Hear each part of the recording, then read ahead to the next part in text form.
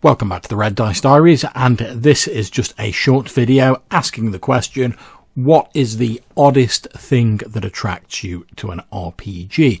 Now, when we're talking about role playing games, we often get into lots of serious discussions about what attracts people to various different role playing games, whether it be a comprehensive rule system, a great world background, collaborative mechanics, or any of numerous other answers. But it occurred to me that there might also be some stranger reasons why people pick the RPGs that they do. So if you're watching this video, I'd encourage you to think about what is the oddest thing that draws you to a particular role-playing game. I'd love to see you post some comments about it, get involved in a discussion on the Brigade Facebook page, link below, or even make a video response to this. And if you do make a video response, please post a link to it in the comments section of this video. I'm all about spreading that good love for the hobby. So for myself, the strangest thing that makes me like a particular RPG is the size of the book. Now, I don't mean the number of pages involved or anything like that. I literally mean the physical dimensions of the book. So let's have a look at some of my favourite RPGs. We've got Fate there.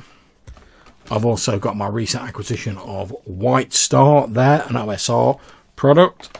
And one of my other favourites, which I'm running at the minute, is Dungeon World there. You can see I'm running it by the ubiquitous index cards that are stuffed into it to mark various rules and points of the book. Now, you'll notice that the similarity between all of these three books, if I just bring them up again here, is that they are all in this digest or pocket size, although you need pretty big pockets to fit them in.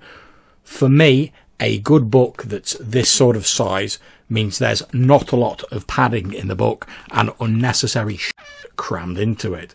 It only has in it what you need to run the game. And I like that. Don't get me wrong, I love reading an epic background for a campaign world as much as the next person, but when it comes to running a game, I want a book that's easy to reference, simple to transport, and that I can cram into a rucksack with paper, pens, and character sheets without too much hassle.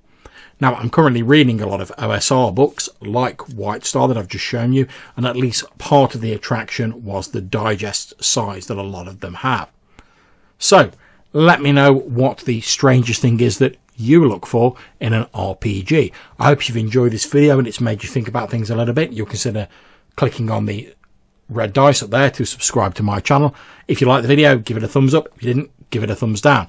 I'd love to see your comments and any video responses you make. I really do enjoy reading what you write. So until I see you next time, take care and happy gaming.